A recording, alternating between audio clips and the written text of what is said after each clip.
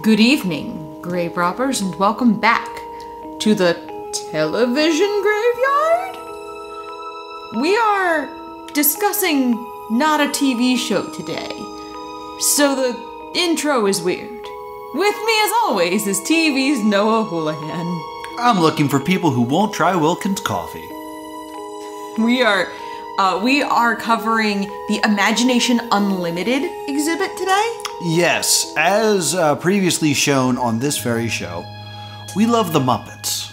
What? We love the Muppets. We do. We do. We really love the Muppets. So when I found out that the Jim Henson exhibit was coming to uh, Baltimore, Maryland, I packed Laura up in the car and we drove down to uh, check it out. And I was like, this is going to be some good Stay Doomed fodder. So let's talk about it. Yeah, we were we were at the Maryland Center for History and Culture. Yes. Uh, the exhibit was pretty reasonably priced. Uh, I I'm just kind of getting through some basics here. Yeah. Uh, it it was a really it's a pretty small museum. Uh, this was by far obviously the biggest draw for the museum. Oh, yes. by a country mile. Easily. So before we jump into this, let's pour one out. What have you got there, Noah? I have some Wilkins coffee. Uh, it's coffee with creamer with a little bit of Fireball in it because of the old Wilkins uh, co- uh, Wilkins and Wilkins coffee commercial, which was one of Jim Henson's first projects. Uh, where it's it's one of my favorite bits. With this camera, I shoot pictures of people who don't drink Wilkins coffee. I'm ready. Shoot. Anybody else? this zany, very threatening coffee commercial that uh, Jim Henson created is like the precursor to the Muppets. These little 15 second spots. I have the keep it simple. Mm. Uh, Jim Henson always liked to say keep it simple. Uh, right before he suggested doing something technologically advanced and complicated. Right? So uh, this is just a sparkling water because I am still recovering from the heat exhaustion. Yeah, we spent a lot of time in the sun uh, yesterday, so we're a little we're a little wiped. Yeah, so I was not interested in uh, anything alcoholic today. So it is cranberry strawberry sparkling water. Oh, So that's it's a not- little fancy. Miss Piggy would drink this. Yeah, there you go. So I, I'm pulling out my phone because I did keep what can a pretty good uh, photographic diary of the event. Yes. Uh, when you walk up to the Maryland Center for Culture and History, uh, it's really really fun because there's chalk drawings all outside yes. of different Jim Henson characters. Yes, there was a great Gonzo. There was uh, a Slimy, There's a beautiful Grover. a beautiful Grover. Yes, and uh, there was also like a few uh, quotes around. I'm not sure if you saw this because I went and checked. Over in the left-hand corner, there was a quote that simply said, "I don't move the moon and stars for I, I move the moon and stars for no one." Which is from Labyrinth. which is from Labyrinth. Yes. Uh, there was Red from Fraggles. Yes. There was Cookie Monster. And so we get up, we check in because uh, we had one of the first timed tickets of the day. Which, if you go, I fully recommend going as early in the day as Yeah. you can. Go early for sure. Uh, because we had it mostly to ourselves outside of a couple other diehard fans. Yeah. Like the other people who were there were like our level. They were on our level. Like, Absolutely. They were our people. And uh, the girl behind the desk definitely laughed at me a little bit when we walked up. Oh, you were buzzing. you I was so in. excited. And when you walk in to this exhibit, it does not disappoint. No. The first thing you see before you even walk into the exhibit is this very big color your own mural about Jim Henson's legacy in Maryland. Because Jim Henson uh, lived in Maryland, he was a University of Maryland alum. Yes. So he has a lot of ties to Maryland, which is why they really were so Pushing. excited about this exam, uh, Yeah. this exhibit. And before you even walk in, there's this, and I want to set up that this exists because we don't really stop and get a good look at it until we're on our way out. Yeah. Uh, but it's a giant mural. Yeah, of- it's it looks like a color book page, and like you can color, so you can color in Jim Henson holding Kermit and some of the Maryland buildings in the background, and over time it was going to just continue to grow. and you walk in, and the first thing you see is this absolutely beautiful wall size picture of a 1970s era Jim Henson looking contemplatively at Kermit. This is a very famous picture. Yes, Uh, it's sun dappled, it's beautiful, and in front of it is simply Kermit himself. yes, a full Kermit the Frog waves you in as you first walk in. Yeah, like a like an authentic Muppet screen used. Yeah. And this is a big thing that you'll see throughout this uh, museum, which I loved, is all the Muppets are kept in these like clear boxes that you can also get behind. Yes. So if you were trying to fit a lot of people into a picture, you can have some people in front of Kermit, some people next to Kermit, some people behind Kermit, and everyone can get their picture with Kermit. It's very nice. Just no flash photography. Yeah, which is reasonable. It's well lit enough in there. You don't really need flash photography. So the very first picture I took is my stupid Muppet face. Mm-hmm. And just so excited. Yeah. It's just uh it's just this and I took a one without us in it that is Yeah. just this beautiful image of Kermit and Jim looking at each other as Jim waves or as Kermit waves in front of you. So then we start to get into the history of how Jim developed what would become the Muppets. Yeah, we start at the very beginning. We start with Wilkins and Wilkins Coffee. we stop before that. Even before that, yeah. we see his business card with his home address on it. Yeah, that's so weird to see. Uh, but it, I didn't think that that was so early because it says Muppets on it, right? It's from 1959. Wow, so he always had the name Muppets. Yeah, he was already talking about the Muppets when he met Jane, the woman who'd become his wife, Right. uh, who worked with him closely through most of his life. Something they had here that I just found absolutely crazy is they had so many things that were handwritten by Jim. Yeah, they had all these notes that were like, that's Jim's handwriting. This is like, f- from not just like notes from Jim Henson, notes from a young Jim Henson. Yeah, it was very interesting to see like how his mind worked so early and they actually had a little stand where you could put on headphones and watch old Wilkins and Wilkins commercials. they were fun. And what I really didn't know is I always knew them as Wilkins and Wilkins because of Wilkins coffee. But they didn't always sell that. They sold bread. They sold bread, they Chocolate? sold chocolate, ginger ale. I just filled my swimming pool with ginger ale. Is it Frank's? Try it. Thanks. What do you mean tasty bread is baked while you sleep? I'm awake.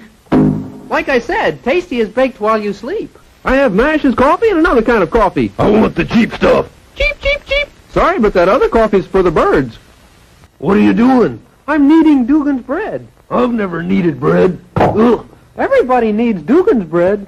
Uh, I have a picture of like the uh, storyboard that of a commercial that they made, and it's for natural or I'm sorry, National City Bank.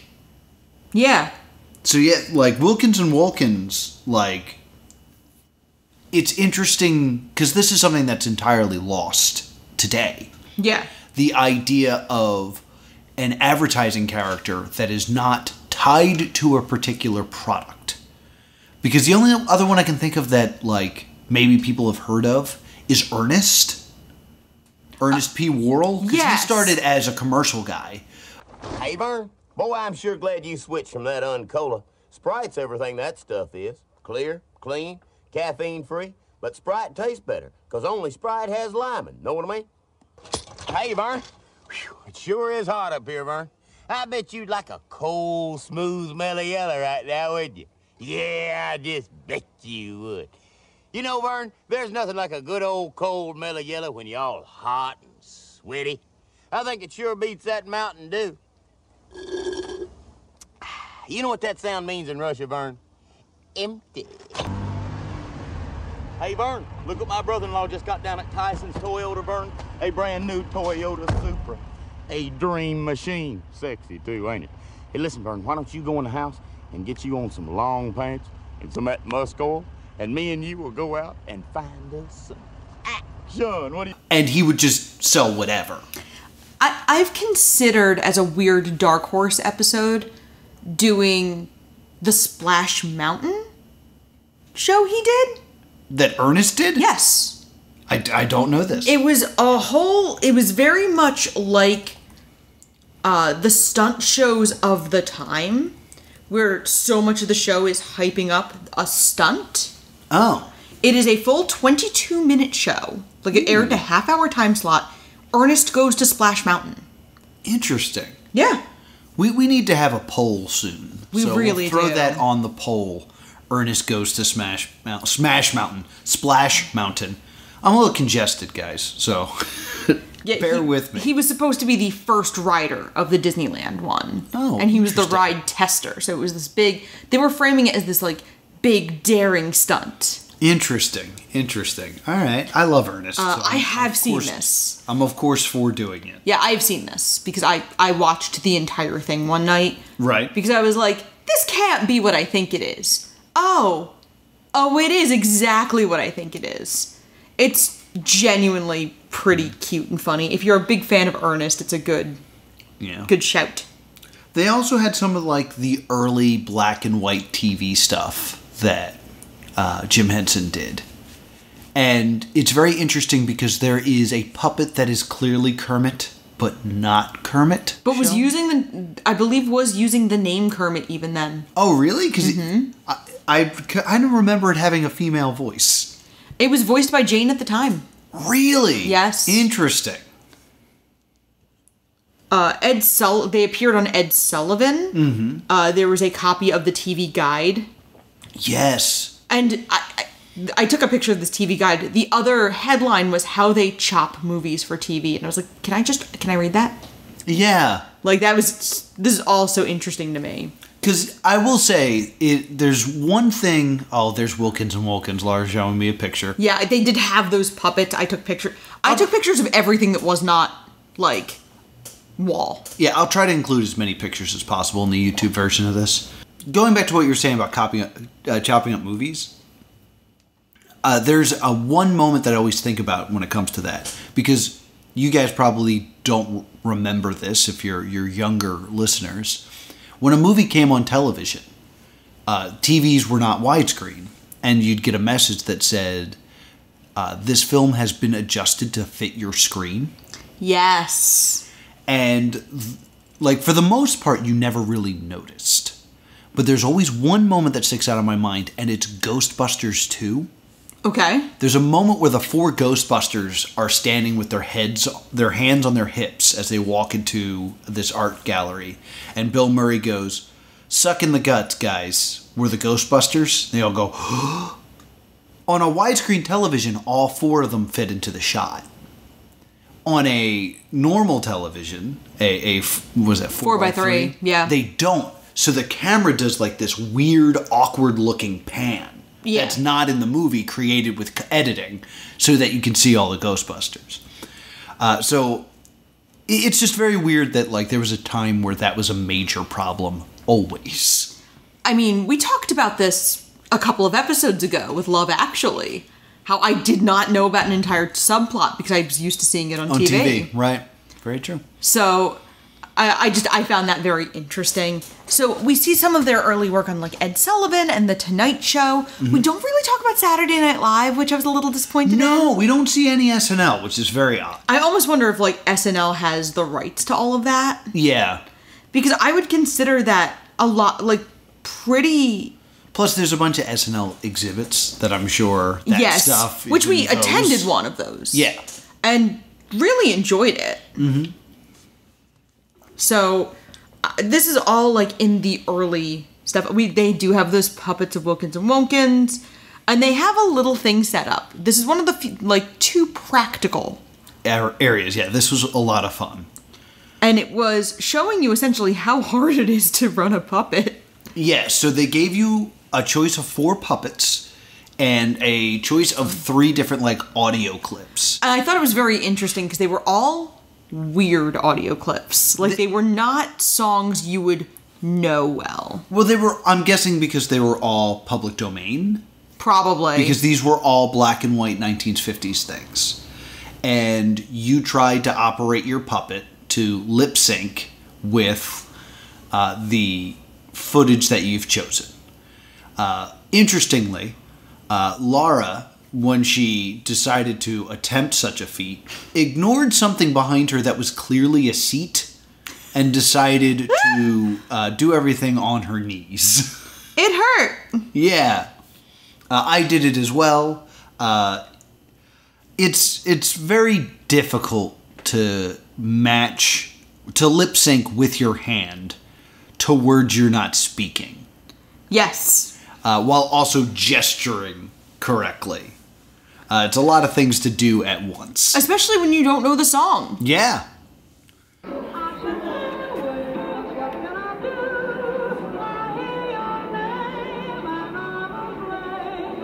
You're better than me.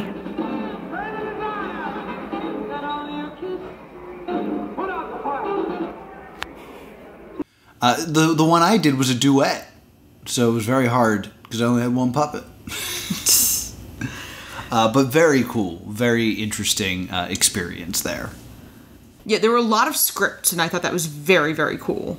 That we could kind of see all of these scripts with handwritten notes, and uh, it was so.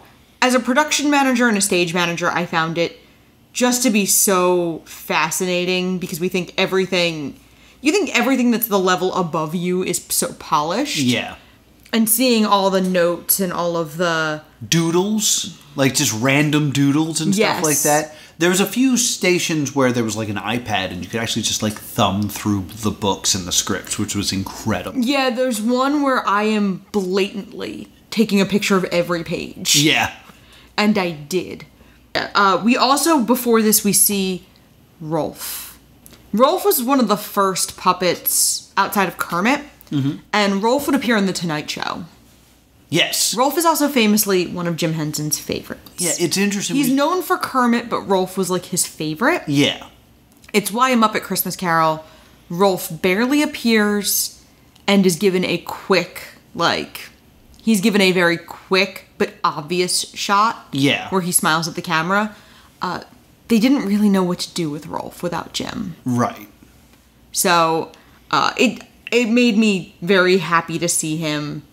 I love this picture. He looks so happy. He's also it's a very proto version of Rolf. He's surprisingly cuddly looking. Well, the we saw the original drawings of Rolf, and Rolf had like this underbite and these two sharp teeth that actually stuck out. Yeah, very bulldoggy. And luckily, Jim thought better of that and got rid of them. But it was very interesting seeing early Rolf, who almost looked a little sinister, Yes. And to think that that's the character that became like cuddly, laid, laid back, graspy voice Rolf is very interesting. And then we get to this room. Yeah, this might be my favorite part. It was almost missable. Like, the way it was set up, it almost seemed like it was an employees only area. Yes. And I stuck my head in, and it is the non puppet, really weird Jim Henson stuff that he made. Or attempted to make, as we will see. Yes. Because there was, like, the plans for a nightclub in there. Yeah.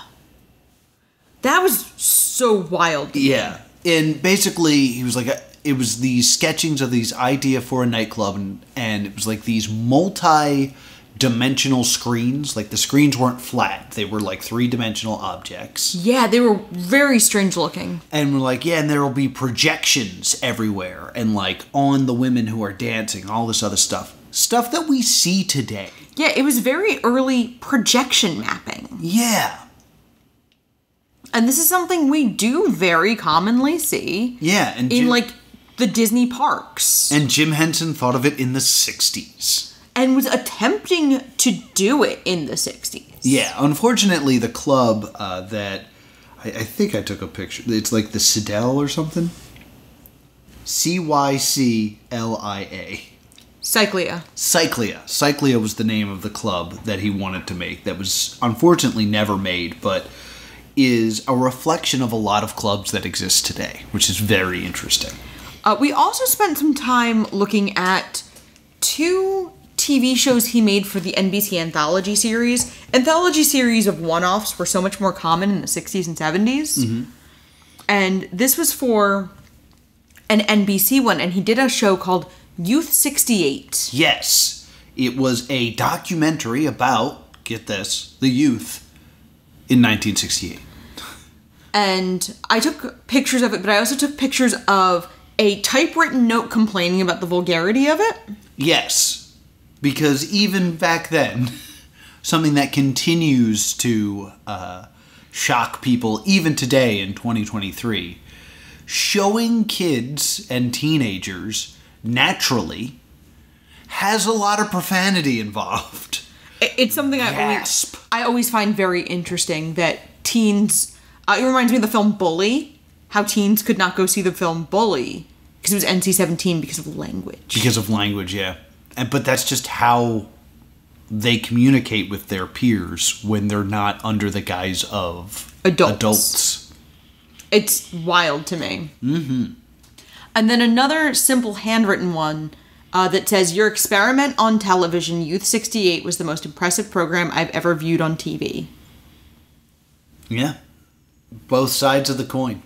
It's it's interesting the idea of Jim Henson doing a documentary because so much of his work is surreal.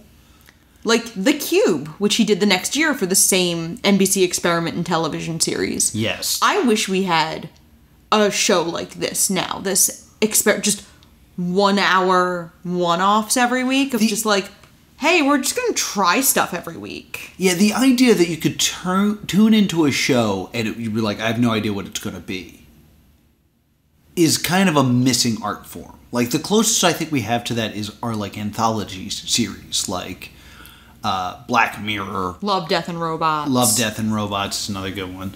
Uh, and there's still there's like still a thread between all of those. But I would love if we took a bunch of people, gave them a budget, and were like, "Hey, go nuts!" Yeah. Because I had this thought recently. Every year, there's this great little horror uh, film festival full of some of the greatest and most creative minds I've ever seen. It's called the Night Mind Candy Bowl.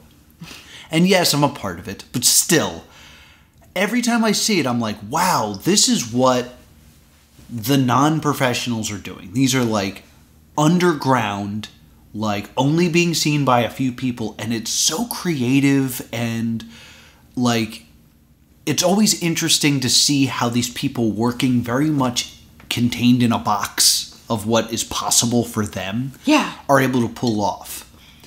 Imagine if we just took a handful of those creators and we're like, here is $50,000 Yeah. make a thing, make a 22 minute thing, they would come back with something incredible.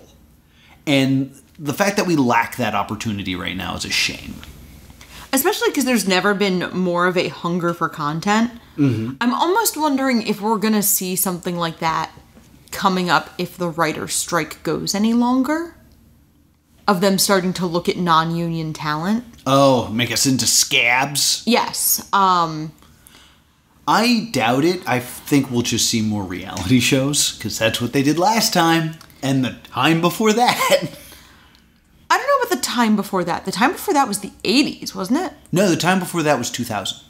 That's when we got Survivor. There was a ah. writer strike going on.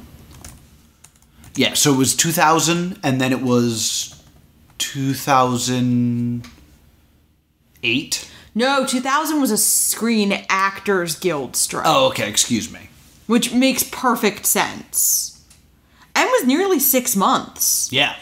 Uh, it's interesting. I have no memory of this because I was a very, I was very young Yeah. when this happened, and you know, another group of reruns, how would I have really noticed? I remember because it gave me that first hit of that delicious drug of reality television. Which I was too good for back then. No, and now I'm addicted to.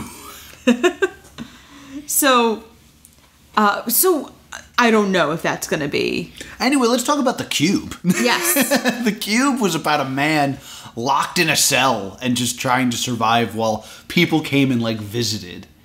And they sh- they had like a small clip of it and it had this like technodrome feel where like he showed the man what a television was and like what was happening in the television. Was something horrible happening to him? Oh, it was like it was very wild. And i would love to watch this uh, maybe even for an episode of stay tuned because while it was created for this series of like experimental as we always say if it does well enough there's always room for more. It's it's easy to find. is it? Yeah, I found it in. It's on YouTube. next week Yeah, it's it's very easy to find. Oh, the next thing we're going to talk about is also up. yeah Uh, Timepiece. It was a nine-minute short film starring Jim Henson himself. Uh, it was an experimental. It it smacks of the '60s. Yes, uh, you might know of it if you've ever seen the image of Jim Henson in a full suit with tails and top hat in some sort of winged glider. Yes. I feel like this is an image of Jim Henson that has been used a lot to be like, man, this guy is wacky. But it exists in this piece, Timepiece, which I wouldn't say is wacky, because it's clearly saying something Yes. that I wouldn't say is just for giggles. No, no, it's definitely something uh, really. It's exper- It's about a man trying to run from time. From t- yeah, it's definitely about a man running out of time. It's very interesting because it's, to me, it's reminiscent in a way. Uh, it reminded me a little bit of Hamilton the musical. Stay with me. Wow, we went in totally different directions. You go first. because Hamilton the musical has the benefit of knowing Alexander Hamilton dies young. So setting up that running out of time, running out of time all through Hamilton the musical. We as an audience and Lin Manuel Miranda as a writer knew when Alexander Hamilton would run out of time. Right. Jim Henson was playing the home game. Jim Henson has a very common theme of doing too much and being afraid of running out of time. Yeah, And he had no way of knowing he was going to die tragically young. that's true. To me, this very much invoked feelings of Run Lola Run. Okay, we can go in opposite directions. We just went in different directions. Wha what's the opposite of Hamilton? Cats. Okay. Yeah, yeah, yeah. I, I'll stick by that. Uh, but it's definitely like a man running and then like shots of what he could be spending his time doing. Yes. and like the shots are things like him in prison breaking uh, uh, rocks. There's like painting going on. Him painting an elephant, which I is a thing I'd have to think about. We only saw a small excerpt, and I don't know. We might end up doing it next week if time. If uh, what was that? Time Cube or If the Cube. the cube uh, is not going to fill enough time for a podcast. Maybe we'll do a double feature. Uh, but it's very interesting seeing Jim Henson do all these things where he's not using puppets. Yes. And it's vital to say this. Uh, he's not aiming at children, clearly. Cle- very clearly. I feel like a lot of people, even then, were like puppets, kids.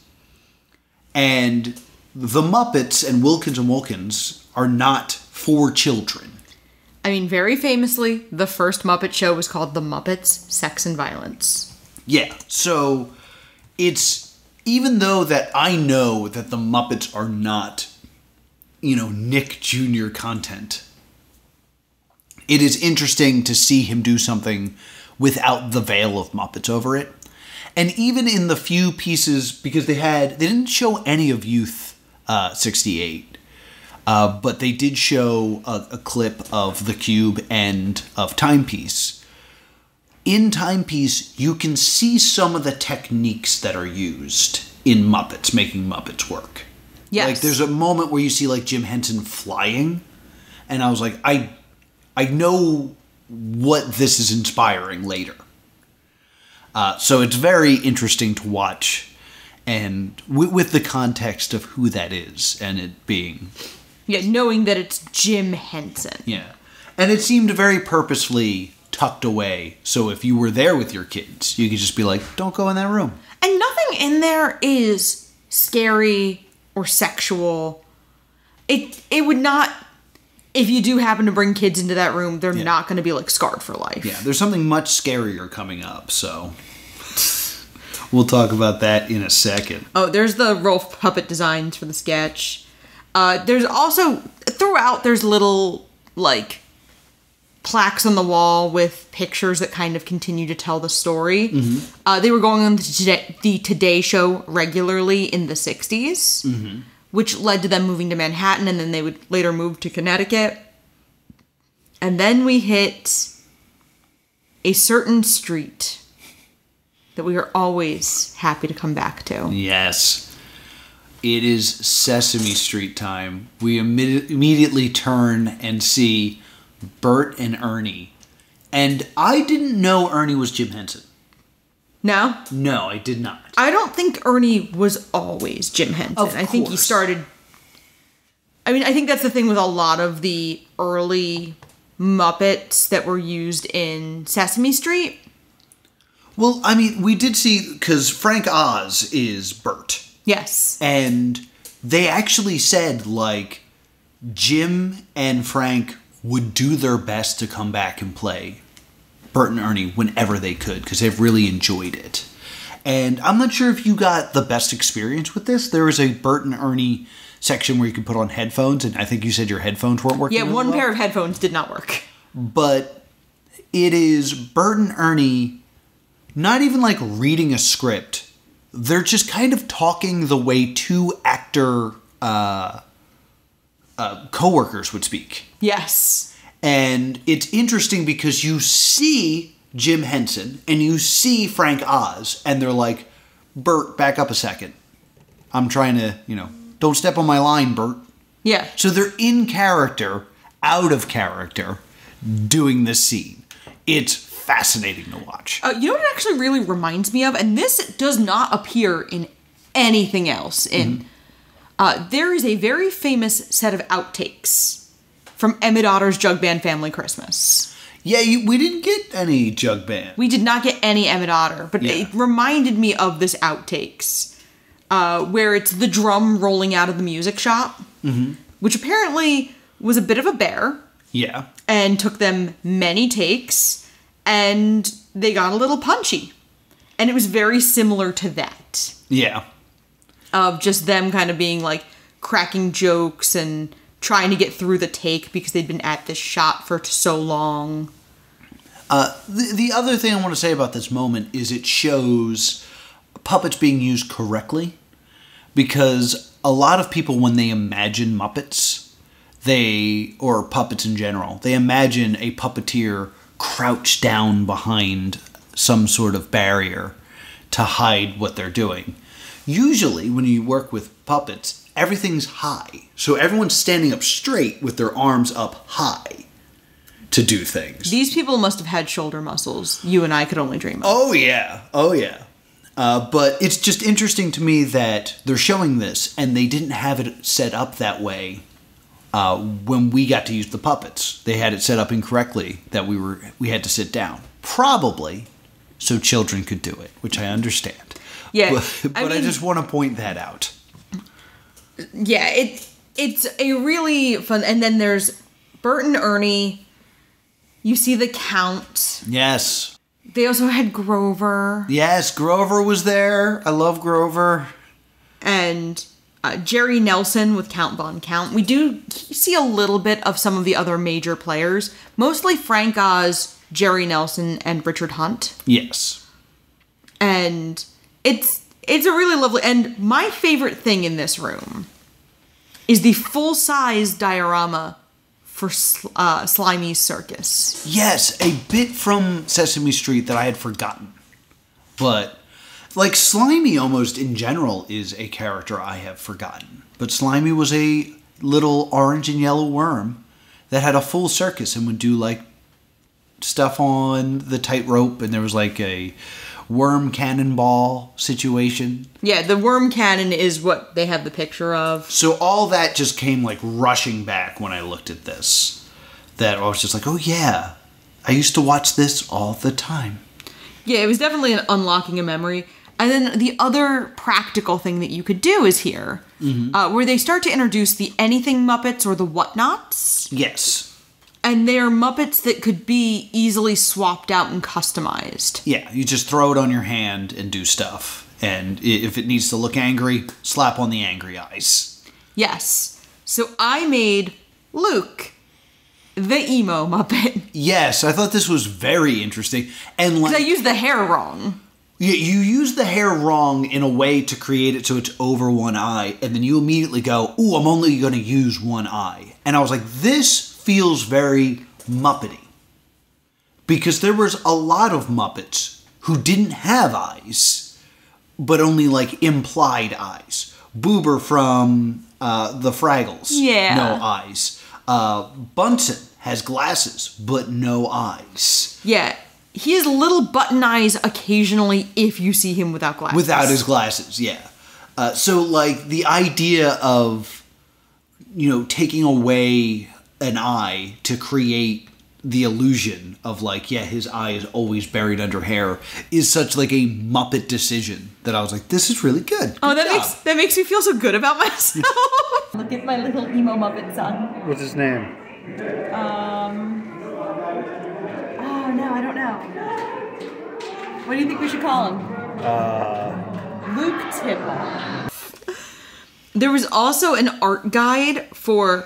Uh, we start. We there was a little section talking about the merchandising for Sesame Street and how Sesame Street was the first of the Jim Henson projects to be heavily merchandised. yes you saw my favorite book The monster at the end of this book. one of my favorite books But you also got to see the style guide for how to draw the Muppets for artists, uh, because this was before you were necessarily using photos or CGI yeah for anything like this. So they would have artists drawing Grover, drawing Big Bird. And then the last like 12 pages of it are what look to be like a posed calendar. And just this art is exquisite. And I took a picture of literally every single page. Uh, and it's characters you don't even see that much, like Franklin.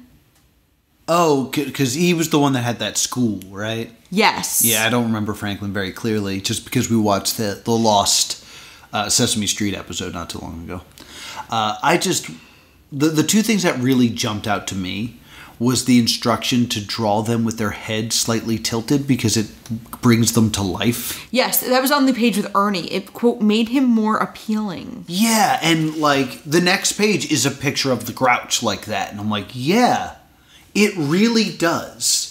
And of course, like Jim Henson would know how to take an inanimate object and bring it to life. Uh, and I want to invoke this because this is another thing missing from this exhibit. Nothing about Puppet Man No, was there, but that's for the best. it is a moment that I think about all the time. Is there is a moment in the the pilot Muppet or Puppet Man that we covered on the show where this guy's a puppeteer, he's talking to his son, and he puts on an oven mitt and he grabs a salt and pepper shakers to make eyes and just makes a creature in like two seconds. And it is a nothing moment. But in like a magic trick, his hand is wearing a glove and then it's alive. yes. Like, even though it's just subtle and he's goofing around, he does all the puppet things that make you connect with something as a living being. And it's so incredible. So, the idea that you have to take that concept, something that you've learned to do, and put it into words, and seeing it there, like tilt the head, is incredible to me. Uh, the other thing that got me was the magician, who I always forget. I love peanut butter sandwiches. What's his name? The Amazing Mumford. The Amazing Mumford. Uh, there was instructions on how to draw him, and then the instructions to how to draw the count was to draw him first Yes. and then add the count's eyes to it.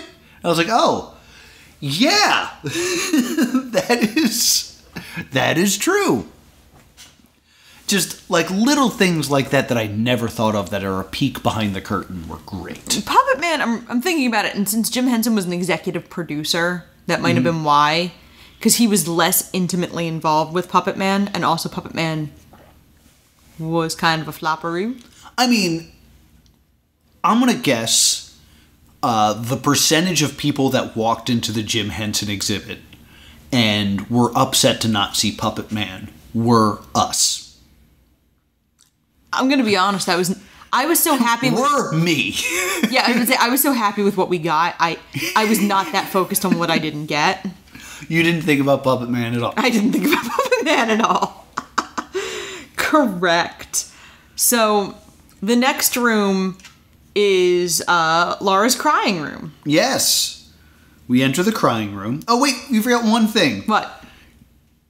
the face that counts. The scariest thing to you. I took a picture. Oh God! Oh God! Stop! Kill the fire! Look at it. No. Look at it. No. Look at it. No.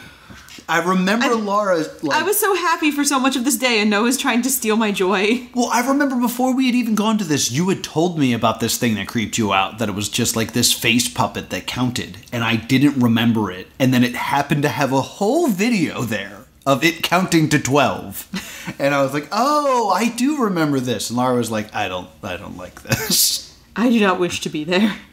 I don't want to go that way. And uh, the next room is Laura's crying room. Yes. We walk in, and I immediately am like,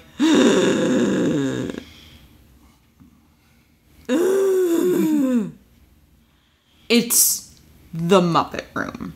It's the room that is for the Muppet Show Yeah. specifically. Again, it was a little tucked away and missable, which was weird.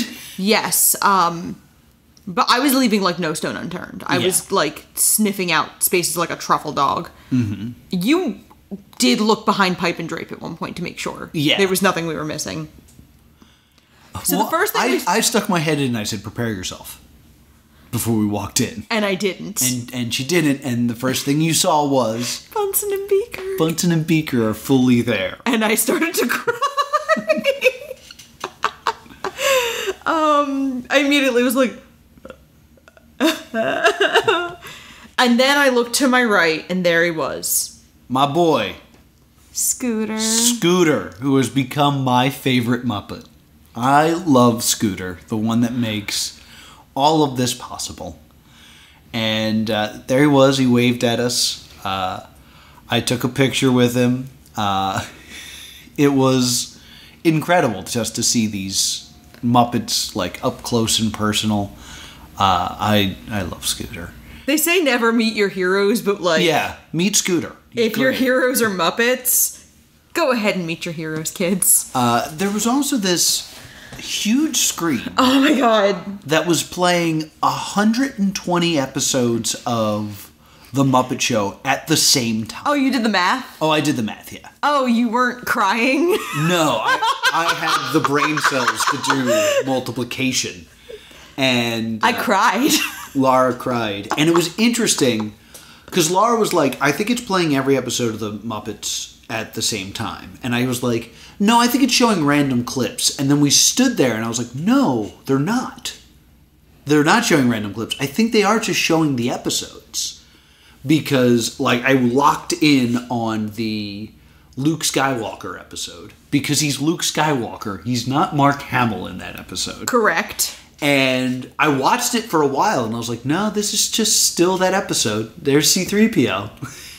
Yeah, because I I saw all the one like all the ones I was looking for. I did see like Yeah. the Vincent Price episode, the Alice Cooper episode, the Star Wars episode, George Burns, Christopher Reeve.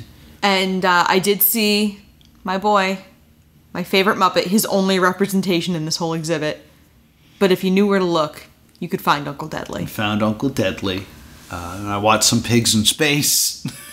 And over it is you can't really hear the audio, you can only just hear the Muppet theme. the Muppet theme song, which turns out will make me incredibly emotional. yeah. I did take like a short, like 10 second video of it Okay. Um, just to kind of be there with it. Mm-hmm. So I could kind of sit with I took so many pictures of it. Oh, I took one where I'm focusing on the R2D2 episode entirely. And then I took one where I'm stepping back a little bit. I didn't take horizontal video because I'm a clown. You clown. Oh, and then I took a really good up close picture scooter while you were doing while you were doing math. I think honestly. and then, oh, sorry, that video had sound. Um, the next thing we see is the rundown on index cards of the Carol Burnett episode. Yes. And as a production stage manager, I was like, oh my god! I just I thought it was the coolest thing. So I did like stand there and like pan across it. Yeah. Uh, I think while you were doing that, I think you missed the quote that was above it. There was a Jim Henson quote that I took a picture of Yeah. that I loved, and I was like, well, I'm going to take a picture of this because I think Lauren might have missed it. Uh, Kermit's function on the show is very much like my own, in that he's trying to hold together this group of crazies, which is not unlike what I do. And that quote really hit me uh, because that's one of the reasons I identify with Scooter so much is because of my role in professional wrestling and in a way in comedy now. Yeah. Where like I'm not as spotlight heavy. It's about like making other people carry the show and me just kind of keeping everything in order. Uh, you know, the idea of like Jim Henson seeing something in these Muppets that he can relate to, and he created them, is so like it's such an interesting thought of just like yeah, I kind of like I see the Muppets as like as characters and as like people and like with thoughts and dreams, and it's good to know Jim Henson did the same, you know. I mean, I have in my home a Muppet plaque that says, I found a whole bunch of friends with the same dream. It kind of makes us like a family. Mm-hmm. And it's that, like, kinship with the Muppets that I think is something that's really, really key in how people who have always loved the Muppets connect with it. Mm-hmm. And I just, like, that's such a good. I, I love I love Jim Henson and I love Kermit. And I'm Yeah. gonna pour one out if I cry on mic by the end of the show, guys. Yeah. So uh, the Muppet Room had that. There was also a bit on the movies there, so they had stuff on. That was like the next room tucked away. yeah, it was kind of connected, uh, and it was the posters for the Muppet movie, uh, the Great Muppet Caper, and uh, the Muppets Take Manhattan. Because those were the three that were released when Jim Henson was alive. Yeah. There was part of the special that I remember airing on Nickelodeon where they were kind of giving away the Muppet magic Yeah. and they explain how they did the bicycle scene. Uh, This is so cool. And like it's incredible because here's here's a weird story. Uh, I remember seeing this special as a child, and I I think that scene's from the Muppets Take Manhattan. I, it's from the Muppet movie. Is it from the Muppet movie where they're all on the bikes? I believe it is. Googling is taking place currently. Are we both wrong? Is it from the other one? It's not from the Great Muppet Caper. It appears to be from Great Muppet Caper. really? It is from the Great Muppet Caper. Oh, all right. Well, we're both wrong. Yep, we picked the one that it's not from. I've seen all of I I'm kind of overdue for a rewatch of all of, Of all the. Muppets, I think yeah, I'm I'm for that as well. yeah, I think the only one I don't need to rewatch right now is Christmas Carol because I do watch it every Christmas. I Eve. feel like if we started the Great Muppet rewatch right now, by the time Christmas rolled around, it would be time to watch the. Wait, we're gonna rewatch like all of not just the movies. You want to rewatch like the whole Muppet Show and stuff too? I I mean that's that's at least hundred and twenty hours. I do, but like, I think they're half hour episodes. okay, 60. Yeah, it's already See getting how I can do shorter. math? See, it's already getting shorter. Uh, But anyway, the, the point of me bringing this up is I remember watching this special on Nickelodeon where they explained how they did the bicycle scene. And it was the first time that I was ever like, oh yeah, like I knew movies weren't real, but they still have to do the things. And it was my first time being like, oh, this was probably really hard. Like, I knew Kermit was a puppet, but he's on a bicycle there, and you can see his entire body. How are they doing this? And it was so fascinating to me that I used to listen to a show on uh, WXPN Okay. called Kids Corner, Okay. and they had a Muppets expert on. And you could call in and ask questions. And I called in, and I got picked. And the question I asked was, how did they do the bicycles when they're on bikes? Because I just wanted to hear the answer again. Like it was a thing I already knew, but I liked it so much that I was like, I, I want this person to also tell me. Ah. So yeah, I called up and they're like, "Then we have a call from Noah. What does Noah want to know? I want to know how. And they asked me who my favorite Muppet was, and I said Gonzo. And When uh, you and I first started working together, we're married on in Stay Doomed Canon, right? Like people know we're.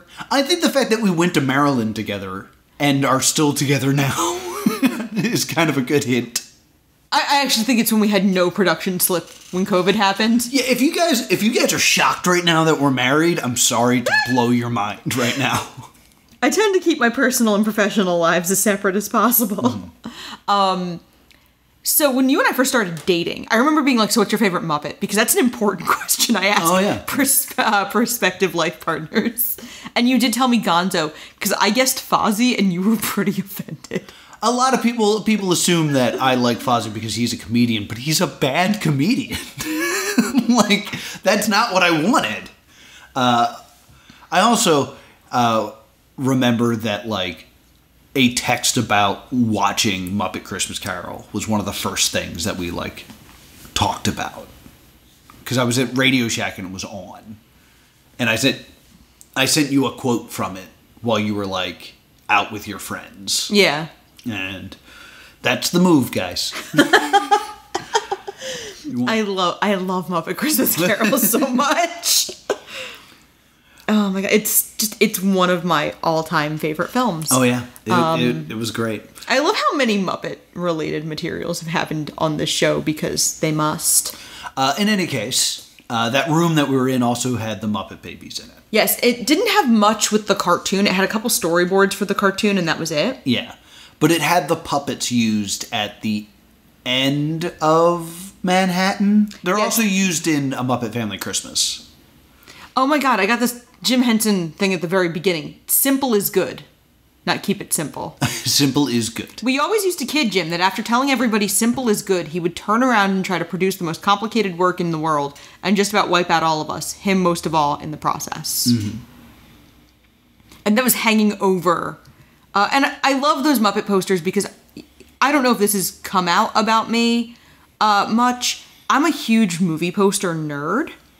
Yeah, And uh, the person who did the Muppets uh, posters up through uh, cr- up through Treasure Island is Drew Struzan, who is like the greatest to do it. He did Back Yeah. to the Future. Because I was talking about doing movie posters in one room of my home, and I couldn't decide which Muppet poster it would be. Because my plan was always in November and December it was going to swap out for Christmas Carol. Yeah. But what Muppet poster was, what Drew Struzan Muppet poster was going to be the other 10 months of the year? uh, Treasure Island. I hadn't. I never did decide. Oh, Um, I, I think at one point I was going to get all four and cycle through them whenever I felt like it. but like the detail on these puppets, they're just they're so they please me greatly. yeah, it's incredible.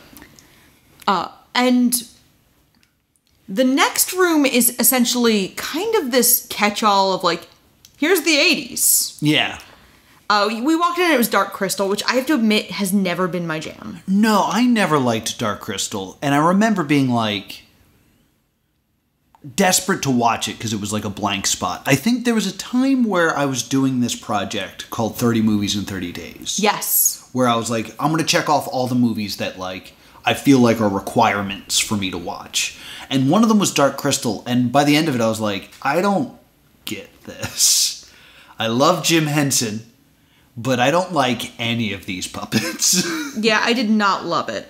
Yeah, so I did not care for it, and there was a lot there for Dark Crystal for a thing that I was just kind of like, eh. Meh.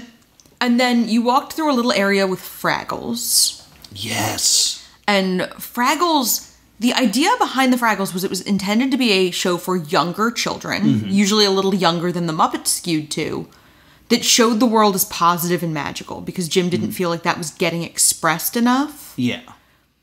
Fraggle Rock is one of the first shows I ever remember watching. Yeah, same. Like, and we didn't have HBO. Yeah. So I think it was one of those we've talked about the free weekends of premium channels, and I think uh, my father would just illegally tape them off TV for me. And I just, as as someone who loves Fraggles, uh, like I need to like figure this out because there was like five different species that existed in this world, right? Yeah. So you have the Fraggles, right? Yes. Then you have the doozers, Yes. who are these little guys that are really big into construction. They love doing like construction work. They love working. Then you have humans. And humans were very big compared to Fraggles. Yes. So how big's a Fraggle? Like the size of like a gopher? Because they were small next to the dog. They were small next to Sprocket. Fraggles are about 22 inches tall. 22 inches tall. So a little under two feet. Yes. So a doozer was small to them. Six inches. So they're six inches. Uh, then how big are the Gorgs?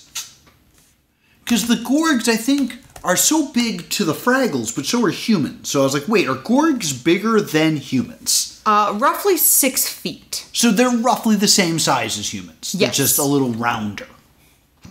And then you had Mother Trash Heap. And I'm guessing Mother Trash Heap was not as tall, but very wide because it was a heap. Not to body shame Lady Trash Heap. You've called the trash heap so many things. Mrs. Trash Heap? No. No, I haven't. I've used the same name for Mother Trash Heap No, you this call- whole time. What? What's the trash heap's real name? Lady Trash Heap? No, it's Marjorie. I was just about to say it's Two Marjorie. most important Marjories are Marjorie the trash heap and Taylor Swift's grandmother. Oh, excuse me, I'm sorry. How big is Marjorie? Mother Trash Heap? I hate you so much. She's a large, matronly, sentient compost heap. oh, there's something great about that. Uh, it doesn't seem like she's that tall next to Fraggles. Right. So it looks like she might be about two and a half feet tall, based on a Fraggle being roughly two feet tall. Okay. So, one thing that I do love about this little section, and uh, you you had stepped away, so I'm not, and I just sat and watched this as I stood next to Red, the puppet for Red, and Wembley. Yes, Yes. Red and Wembley.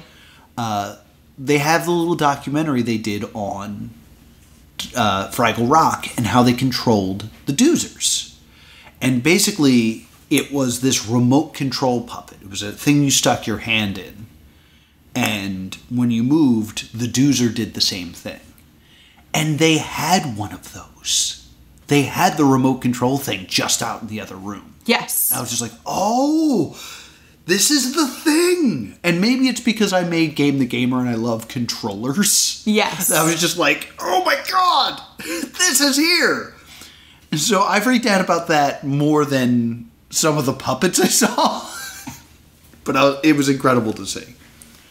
It, it just like I would have loved to have seen a puppet of Sprocket, but I think I may have burst into tears. Yeah, I don't think the building would have survived. I'm very emotionally attached to Sprocket yeah. Uh, to the point where this last holiday season, the Jim Henson Company did a Yule log that was just Sprocket. Oh, yeah. snoozing. It was then on a lot in our home. and it was occasionally like a Fraggle would drop in, or the Doozers would do something and like Mm-hmm. Yeah. fix a broken Christmas light. And I just had that on a lot because it was such a, a safe thing for me. Like it Mm-hmm. was like I just the Muppets were such a clear part of my childhood.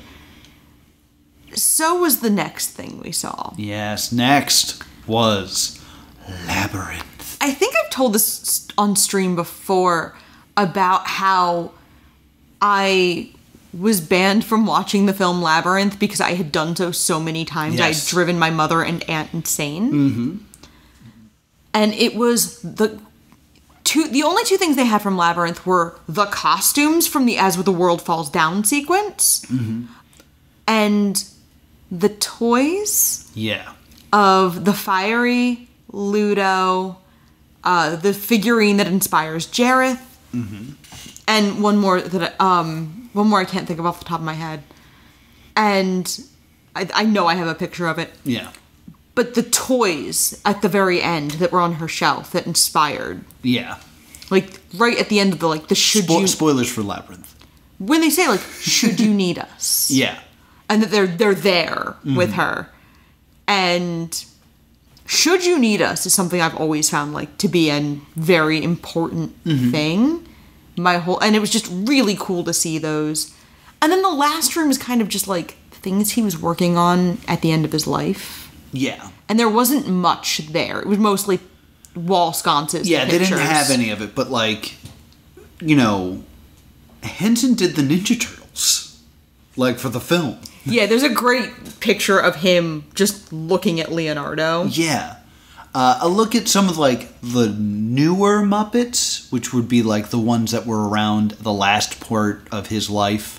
That like, I remember some of them. Like, there's that really weird pale guy with the long hair. from storyteller that I was just like, I, I have memories of this Muppet, but I have no idea what it is. Like his his shirt was covered in like numbers.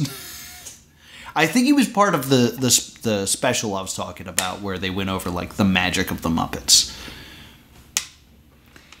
I resent that if you look up creepy white Muppet, uh, Uncle Deadly is mentioned. I'm like, he's not creepy, he's perfect. Um, I, I assume you know who I'm speaking of right now. Yeah, I, I can picture him. I have a picture. The guy in the center here. Yeah, I'm just trying to find him.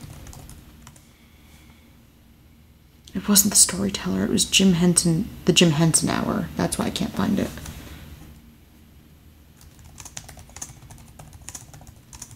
Wow, uh, I'm just gonna say this now because despite the fact that I took a picture of it, I guess I never read it. Yeah? Uh, Jim Henson worked on the 1990 film The Witches, based on the Ronald Dahl film or Ronald Dahl Roll. novel. See Roald Roald Dahl novel. I remember watching that as a kid and being terrified of it. I had it on tape, but I could never finish it. so it, I didn't know that was also a Henson joint.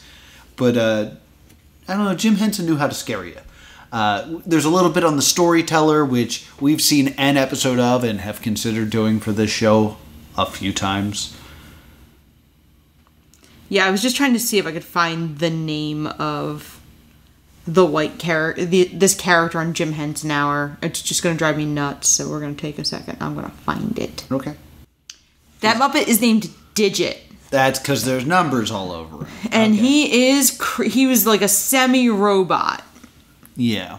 He kind of was Scooter but TV, Okay. based on what I'm seeing here. He helped Kermit run the station for the Jim Henson Hour. All right. All right. The Jim Henson Hour, I do feel like is a big blind spot for me. Uh, it's only 12 episodes and ran one season. Ooh. Yeah, if nothing else, this thing taught us about a lot of things to cover on this show. And if the popularity of our Muppet tier, tier list episode uh, has taught me anything, you guys want more Muppet stuff. So we're going to do more Muppet stuff soon. Oh no. No. Oh no. Sorry, I'm being loopy. Uh, so, when we walked out of the exhibit, uh, we, I made us go through twice. That's really important yeah. to mention. Yeah, we, we got to the end and we see Kermit again. I look at Laura and I go, Do you want to take another lap? And she was like, Yes. And now she's like, You allowed yourself to be more emotional because you weren't in professional. We need to take pictures of this for a show that we're doing later. And this is when you got all weepy eyed. I brought um it's some it's one of the new things Disney is hawking. Uh those these like six inch stuffed animals. They have a name, I don't know what they Yeah, are. they're like the size of a doozer. They are about doozer sized, yes. And I bought Kermit last time I was in the Disney parks. Yeah. And also the outfit I liked best was this little like rainbow. Yeah. It kind of reminds me of Epcot. Yeah, it's like a pride jumpsuit. Uh, it's not even like a. pr- It's not from their Pride collection, I don't think, but it looks like what they had everyone wearing at the beginning of Epcot Center. gotcha. And so I bought him a little outfit and I brought him with me. And I like the second time we went through, I'm just clutching him, like because I cannot hug the Muppet. Yeah. oh my god! And we walk out, and after we go through the second time, we really start looking at this mural. And for the most part, it is so respectful, bordering on reverent. Yeah, like There's a little bit of like You're- kid crap. it is something that is like open for graffiti and like somebody drew like a transformer and stuff like that but for the most part it's people being very respectful and like instead of just like coloring and drawing they're also adding like in jokes Yes. like there was a place where it was clearly a billboard that you could write something and they wrote mr hooper was here Because other people were writing like so and so was here. yeah So somebody wrote Mr. Hooper was here. And then underneath they wrote "Follow that bird," and I was like, "Oh, this is really good." like there were all of these very well done little drawings. of, of all the like Muppets that like didn't get enough respect in this, like there was a Boober, there was a uh, uh, uh what? Oh, the crazy guy. There was Crazy Harry. Crazy Harry. There was a slimy. There was the little worm that says hello. Yes. Did you just say hello? No, I said hello. Uh, Sweetums, Yes. There was no Sweetums in this whole thing. Gonzo holding on to the balloons. A few Gonzos actually. Uh, a Statler and Waldorf saying this exhibit's a joke. yeah. Which fine, like that's the only time I would have accepted anything against this exhibit was Statler and Waldorf doing it. Mm-hmm. Yeah, this this Boober art is actually just like very Is really well done. very simple, beautiful line art. Uh, there was one of those yep, yep, yep, yep, yep, yep, yep, yep, uh huh Yes. aliens, which I loved.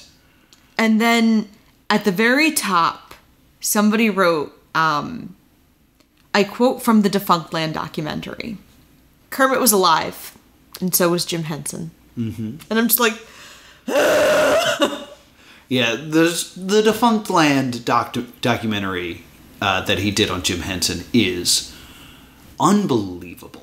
It's something that like I see coming up in a lot of the other media that I watch. Yeah. of people being like, "Yo, I watched Defunctland and cried." uh, people who are not into theme parks the way I am into theme parks Yeah, are also still watching Dr- Defunctland. yeah, it's it's so good, and it was so fitting to see it there in that like Jim Henson's legacy didn't end at his passing. No. and now like unintentionally or maybe intentionally but that Defunctland uh, documentary is a vital part of the story now It, it's how so many younger people learned about other Jim Henson work outside of the Muppets. yeah so many young people just wanted to learn about when they closed uh, 10,000 Leagues Under the Sea and then left YouTube continue to play and ended up learning about Jim Henson and crying. I, I mean, I was there when uh, they put out the video when he put out the video about Action Park. Yeah. I was like, haha. And then when he put out a series on Jim Henson a couple of summers ago, I was like, oh man, these are gonna. I I love Jim Henson. This is gonna be great. I actually have warned people like you got to be ready for that last Yeah, episode. yeah. Mhm. It's it's gonna hit you emotionally. So it's gonna hit you right, right where it hurts. And I love it because like I watch a lot of YouTube and like seeing like Cultaholic talk about it and seeing like the Beard Bros talk about it. Like Jim Henson is just holding all of these things together. It's just it's a it's a beautiful thing. It's a beautiful thing. I love it. It it truly is. I because we everyone talks about like the songs they listen to when they want to uh, feel something, mm-hmm. and it's always like sad emo songs. I'm like, if I want to cause myself pain, I will listen to or worse, watch the video from Jim Henson's memorial of just one person, and that will get me literally every time. Oh yeah, it's oh it's so good. It's so good. So yeah, that was the exhibit was really fun. Uh, so much of this was Laura just talks about how much she's gonna cry about the Muppets for an Yeah. hour. Uh, there were a few uh, Muppets that were MIA. We didn't get Sweetums. Uh, we didn't get Rizzo. No, I almost Rizzo wasn't very big until after his passing. No, I always feel Pepe like- the Prawn. Rizzo, Pepe, even like I love Uncle Deadly, and he does date as far back as uh, the Muppet Show, but he didn't really become the Uncle Deadly we know and love until the Muppet Show, Yeah, or until uh, the Muppets twenty the Muppets 2011 film rather. yeah. Was that? That was yeah. That was before the new the Muppets movie. Yes, by about five years. Yeah. Because we actually talked about how uh, Walter is not in. Yeah. Walter is not there. No Bobo the Bear. No Chip from IT. No, no, Bobo the Bear is in Muppets 2011. I- I'm talking about the exhibition. Oh, okay, too. yes. We didn't. no Chip from IT, no Walter, no Bobo. Um, no Bean Bunny. Bean Bunny was very heavily featured in the last few projects of Jim Henson's life. Because Mm-hmm. the last Muppet project Jim Henson worked on was Muppet Vision 3D. Yes, and we only got like a photo of it. Yes, which I would have loved to have gotten a little more. I've been very vocal and very sad about uh, the loss of the Muppet store that used to have like a lot of unique, interesting Muppets. I could go on about the you know homogenization of Disney gift shops for ages, but they used to have a store that had Muppet stuff Yeah. and I have a small plush bean bunny from that era. And if I'd known they were never going to have a lot of that stuff again, I would have uh, bought whatever wasn't nailed down. Yeah. But the last time I was there, they had some pressed pennies. And uh, shout out to the cast member. I did not get their name, but a very nice cast member. I was at an after hours event Yeah. in Hollywood Studios. Uh, let me in a not open area to just take pictures of Muppet Vision. I, don't- I don't think I knew that this happened. Yeah, I have a bunch of pictures of just an empty Muppets courtyard. Really? Yeah, because like this cast member was like, sure if it means that much to you, kid. Wow. Um, I was like, you can watch me the whole time. I'm just gonna stand here with my cell phone and take pictures. They're like, okay. Uh, because Muppet Vision is not open during after hours events because it's a half hour show that never fills. Right. And people get really mad if they burn half an hour of a uh, hard ticket event. Yeah. In one place. Um, it's Muppet Vision is something that like I have to do every time I'm at Disney. Mm-hmm. If somebody tells me like, "Oh, we didn't go to Hollywood Studios," I'm like, Ugh. You missed Muppet Vision. Oh, "God, I love Muppets," There's a key under the mat. and there is. every time I'm there, I take more pictures of more details because I have this desperate fear that in the next six months, year, what have you, uh, we're gonna get the online thing of like, hey, so that's like the only thing between Star Tours and Galaxy's Edge. We're getting rid of it and adding more Star Wars. Yeah. And I'm going to be deeply upset if and when that happens. I love the Muppets. Um, This is gonna send me on like a weird Muppet vintage merchandise bender where I start looking for like weird vintage Muppets merchandise Oh no. that I don't have any space for in my house. Yeah. Let's just watch something. We'll watch something after this. How about that? Okay. I'm still gonna buy Muppets crap. Uh, so I guess we have to give this a verdict. Is Oh, this- stay is- tuned. Is, it worth going all the way to Maryland for this? Uh, yes, but if you happen to be in New York, this is actually an offshoot of a larger exhibit at the Museum of the Moving Image in Queens. Uh, Queens is a little bit of a hassle to get to. Yeah. Uh, I'm considering it anyway Yeah. for this, uh, especially as something else I was cons- something else we were talking about doing may not be an option Yeah. for a future Stay Doomed episode. So Uh, I will say uh, the rest of this museum is nothing special. no, Like, like there was like the Revolutionary War through the eyes of Maryland, and there was some interesting fashion stuff. there was a kind of fashion thing about uh, I want to say Claire McCardell, Yes. who started uh, modern sportswear, and I thought that was pretty neat. Yeah, but like overall, like there was three other sections that we spent maybe 15 minutes in combined. Yeah, and I, I passed through the diorama room because Yeah. you had to to use the women's bathroom. yeah, so if you're going, don't expect to be like, well, that's just one of the exhibits we'll go to. The other exhibits are not. I mean, if they're in if things you're interested in, Yeah, maybe. if you're super into the Revolutionary War, yeah. But uh, they also didn't have like the panache of No. the like there was nothing interactive or anything like that. No, again, the Museum of Moving Images exhibit um, is just considerably larger. Uh, it's got 47 puppets as opposed to the roughly 10 to 15 I think we saw.